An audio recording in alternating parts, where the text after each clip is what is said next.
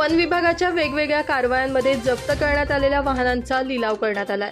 या लिलावामध्ये धुळे जळगाव नाशिक नंदुरबार छत्रपती संभाजीनगर मुंबई यांसह विविध शहरातील व्यापाऱ्यांनी लिलावात सहभाग नोंदवला. सोळा लाख पासष्ट हजारांची सर्वाधिक बोली लावत धुळ्यातील एका व्यापाऱ्यानं ही वाहनं खरेदी केली आहेत. अनेक वर्षांपासून वन विभागाच्या वतीनं विविध कारवायांमध्ये जप्त करण्यात आलेल्या वाहनांचा लिलाव करण्यात आला.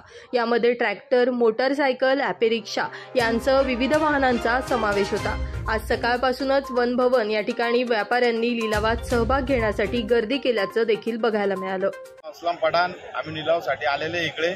आणि भरपूर गावाचे लोक इकडे आलेले शिरपूर धुळे अंमळनेर पागणा आणि आपल्या इकडे श्रीरामपूरचे आणि औरंगाबादचे आणि नाशिकचे लोक भरपूर लोक इकडे आलेले आहे. आणि साहेबांचा चांगला बंदोबस्त होतो आणि चांगली पद्धतीने त्यांनी निलाव केलेला आहे. आम्हाला खूप आवडला आणि साहेबांनी चांगला यश मिळालेला आहे. धन्यवाद. आज दिनांक बारा सात दोन हजार चोवीस रोजी वन विभागमध्ये मोटारसायकल जीप ट्रकाचा निलाव झाला होता.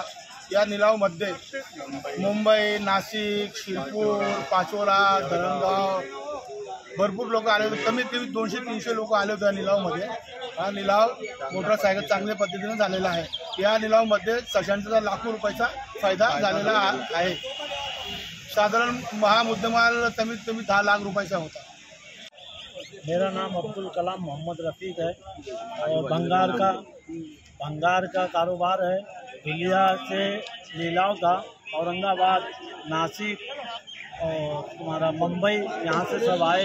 उनके लिए बहुत ही अच्छा प्रोग्राम था और भी सब इंतजाम था। बहुत अच्छे से हुआ लीलाव और हम सबको शुभकामनाएं देते हैं। धन्यवाद। पवन मराठे माझा महाराष्ट्र न्यूज धुळे.